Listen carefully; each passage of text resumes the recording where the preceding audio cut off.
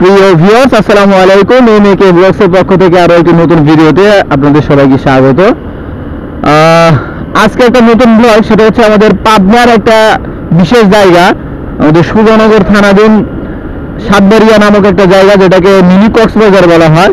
আমার কাজিন নাইমের জোরপূর্বক সেখানে নিয়ে যাচ্ছে। তো একটা এই জন্য ওর জন্য যাওয়া হচ্ছে, তো ভাবলাম যে আজকে একটা ব্লগ বানানো যায় দেখি সাতবাড়ি আসলে কতটা সুন্দর জায়গা। তো আমরা এখন আছি নাজিরগঞ্জ কাশীনাথপুর যে হাইওয়ে রোডটা আছে আর কি বড় বাদেরহাট থেকে নাজিরগঞ্জ দিকে যাইতে, সেই রোডটা এখন আমরা আছি। এরপরে মোটামুটি বিশ পঁচিশ কিলোমিটার দূরে সেই সাতবাড়িয়া। এখন আমাদের টার্গেট হচ্ছে পাঁচটা ত্রিশের মধ্যে সেখানে পৌঁছানো, আমরা আবার ছয়টার মধ্যে ওখান থেকে রওনা দিয়ে দেবো। তো শুধুমাত্র আমাদের যাওয়ার ব্লগ, আর ওখানে জায়গাটা কেমন, এটা দেখানোর জন্য এই ব্লগটা হবে। তো দেখতে থাকুন আজকের ব্লগ। সাথে আছে আমি মোহাম্মদ আব্দুল কাদের, আর আমাদের সাথে আছে Honda Honda CB Trigger one sixty sorry one fifty তো পুরো টাইম ক্যামেরা অন করা যাবে না, বিশেষ বিশেষ জায়গায় ক্যামেরা অন করা যাবে, যেহেতু ক্যামেরা চার্জ একটু কম আছে। তো আমরা এখন বাগেরহাট রেল বাগেরহাট থেকে ফকিরকান্দি যাওয়ার যে রেলগেট সেই রেলগেটে আমরা আসি এরপরে ফকিরকান্দি, এই যে আমাদের রেলগেটটা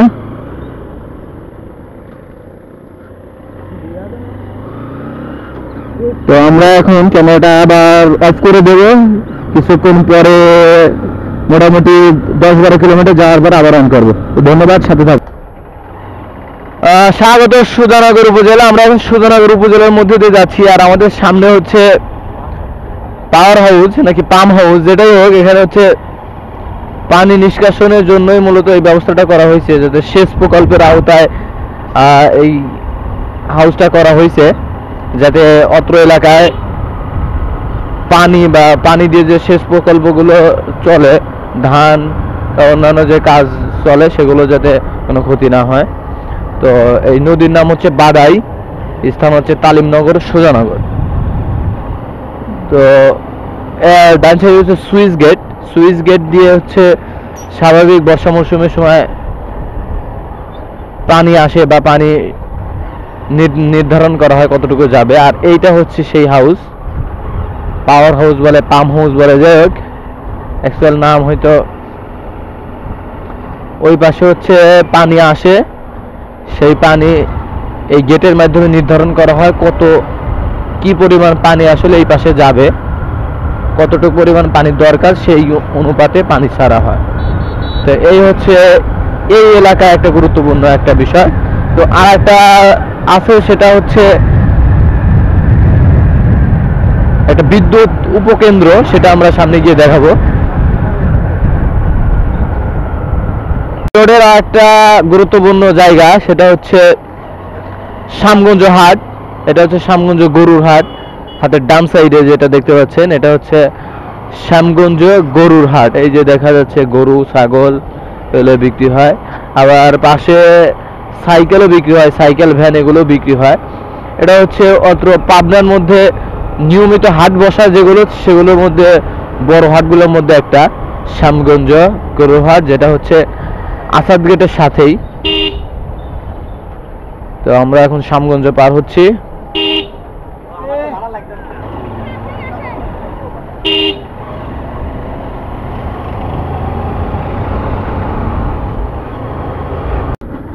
আমরা এখন আছি খলিলপুরে কিছু আগে। এখানে রাস্তাটা সুন্দর অনেক, এই জন্য ক্যামেরাটা অন করলাম।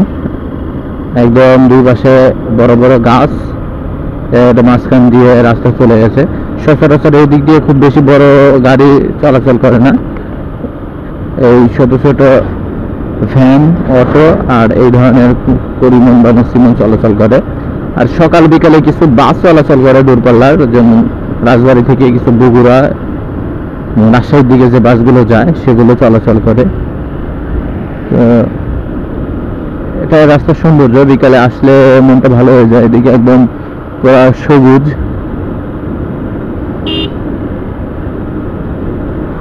দুই পাশে একদম বিশাল ফাঁকা জায়গা, মাঝখান দিয়ে চলে গেছে রাস্তা। তা লোকেশনটা যথেষ্ট সুন্দর, যারা বাইক নিয়ে আপনার আশেপাশে ঘোরাঘুরি করতে চান, তারা এই রোডে রাইড করার জন্য আসতে পারেন। এবং রোডটাও নিট অ্যান্ড ক্লিন আর কোনো ট্রাফিক নাই। মোটামুটি একদম ভালো রাইডিং এক্সপিরিয়েন্স হবে। তো দেখুন, মাঠের পর মাঠ ফসলি জমি, এক পাশে প্রবাহিত হচ্ছে নদী আর এক পাশে ফসলি জমি।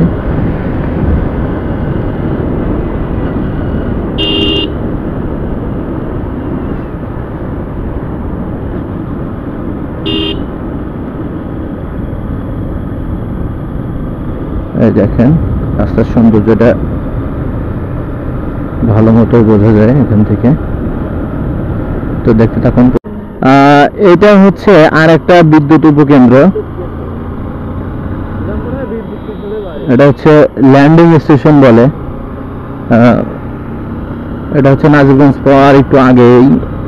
তো এই রোডে আর দুইটা আছে, এইটা ছাড়া আর একটা আছে সাগরগঞ্জের পাশে। তো এরপরে আমরা চলে আসব হচ্ছে নাজিরগঞ্জ। আমরা প্রায় চলে আসছি।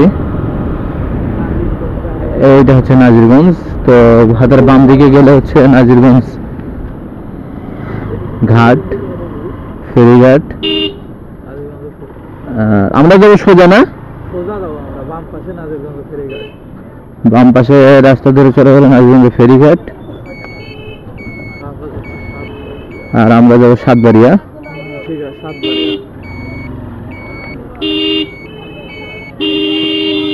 এই থামবে একটু। রাস্তা মাঝখানে দাঁড়ায় আছে।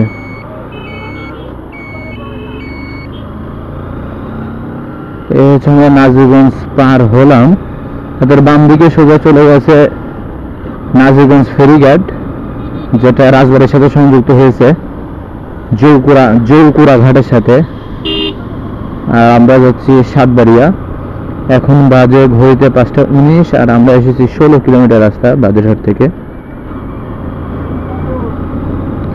তো আমরা একদম সাতবাড়িয়ার কাছাকাছি গিয়ে আবার ক্যামেরাটা অন করব। আমরা এখন আছি, আমরা এখন আছি সুধনগরে একটু একটু পরে একটা রাস্তায়। তো আমরা একটু যাত্রা বিরতি দিছি, ওই যে নাইম প্রস্তাব করতেছে।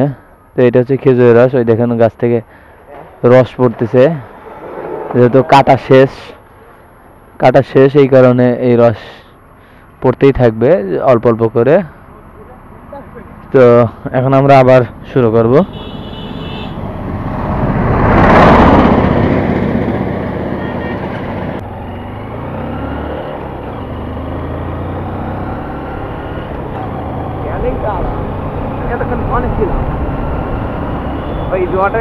হ্যাঁ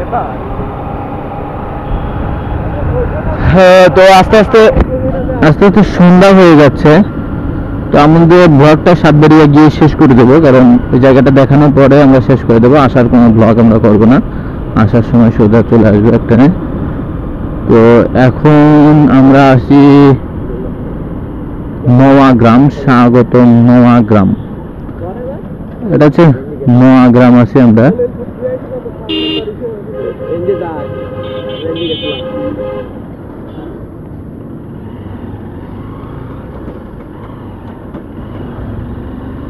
বাইতুল ফালাহ জামে মসজিদ।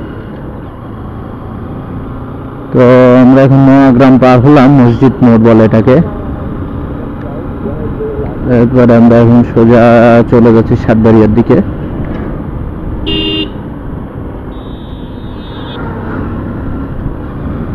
মালিফা মালিফা মানে সে নাজিরগঞ্জের পরে মালিফা নামে একটা জায়গা। এখন আচ্ছা আমরা কোন রোড দিয়ে বাম দিয়ে ঢুকলে সাতবেরিয়া তো এই জায়গাটার নাম কি? তো যাই হোক, আমরা নাজিরগঞ্জের মোটামুটি চার, পাঁচ পাঁচ, ছয় কিলোমিটার পরেই সেলিমরে যে হাবিব কলেজ মালিফা, সেই মালিফার পরে একটা বড় রোড আছে হাতের বামে, সেই রোড দিয়ে ঢুকতে হবে। এখানে একটা মাদ্রাসা হচ্ছে।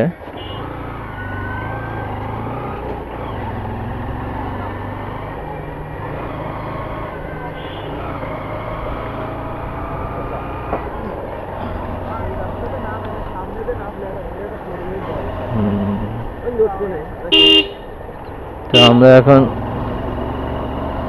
ছোট রাস্তায় এটা হচ্ছে গ্রামের রাস্তা। এরপরেই হচ্ছে সাতবাড়িয়া। আমাদের বাইক চলছে তেইশ কিলোমিটার। তো যাই হোক, আমরা এখন সাত বেড়া দিয়ে যাচ্ছে, একদম জায়গা মতো গিয়ে আমরা আবার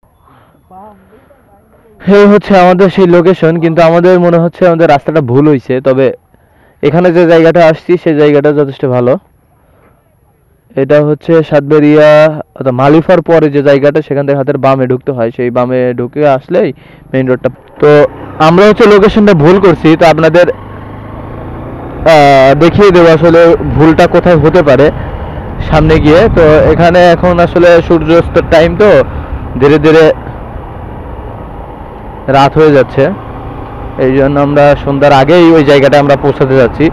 তো তারপরেও দেখেন, আসলে ভিউটা অসাধারণ। পুরোটা নদী যখন জোয়ার থাকে তখন এই যে সৌন্দর্যটা আরও বেশি বৃদ্ধি পায়।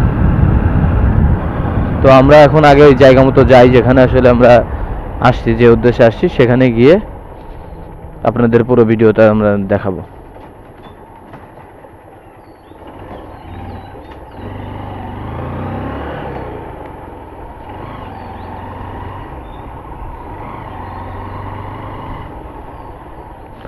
এটা- এ- আমরা কি ডান দিক দিয়েছি এইটা হচ্ছে ওই রোড দিয়ে আসার পর এইটা হচ্ছে একটা তিন মাথা মোড়। তিন মাথা মোড় থেকে হাতের ডান দিকে যাইতে হবে। আমরা চলে গেছিলাম বাম দিকে। তো ডান দিকে গেলেই হচ্ছে অ্যাকচুয়াল রাস্তা। তো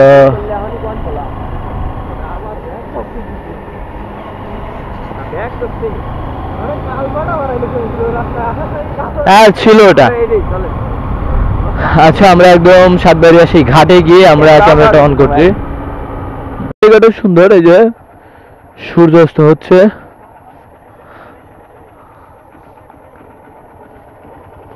আমরা এখানে একটা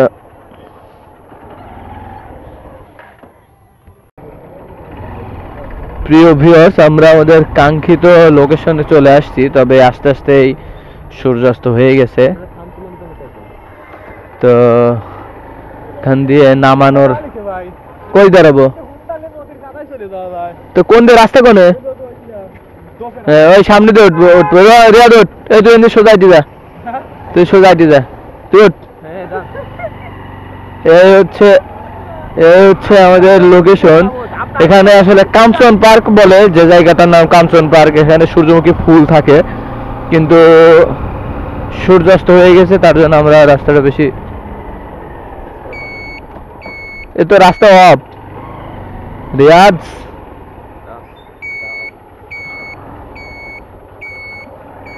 এখানে নিচে যাওয়ার রাস্তা এখন অফ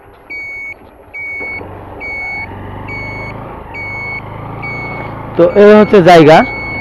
এখানে আসলে সিজন শেষ, যে কারণে আর এখানে দেখার মতো তেমন কিছু নাই। তবে ওই যে দূরে দেখা যাচ্ছে হলুদ হলুদ, ওটা হচ্ছে আসলে সূর্যমুখী। বন্ধ। এই যে নাম নাকি নাইম তো এটা তো সিঁড়ি। এটা কাঞ্চন পার্ক নামে পরিচিত তবে ভিউ শেষ।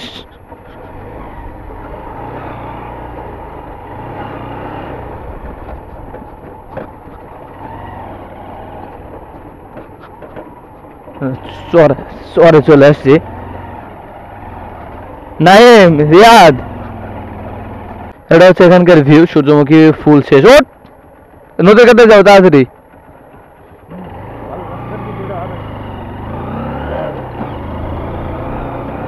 এই যে এখানে দেখতে পাচ্ছেন, এটা হচ্ছে সূর্যমুখী, যেটার মেয়াদ শেষ, এগুলো এখন বয়স হয়ে গেছে। মানে এক কথায়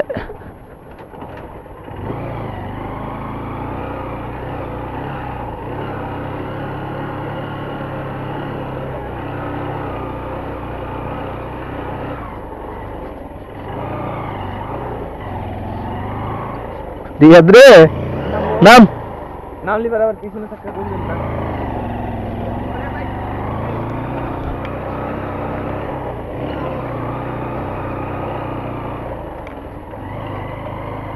কি রে ভাই?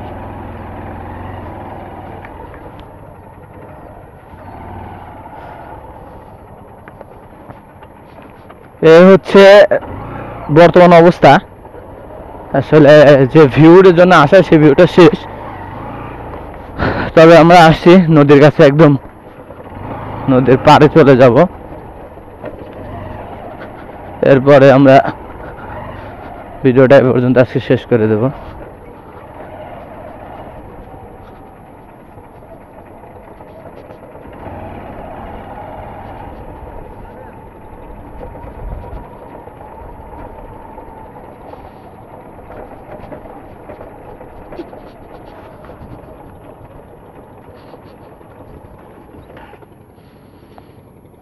এই হচ্ছে সেই কাঞ্চন পার্ক, যেটা সৌন্দর্য একদম শেষের দিকে। যাব না যাব না। এই নেই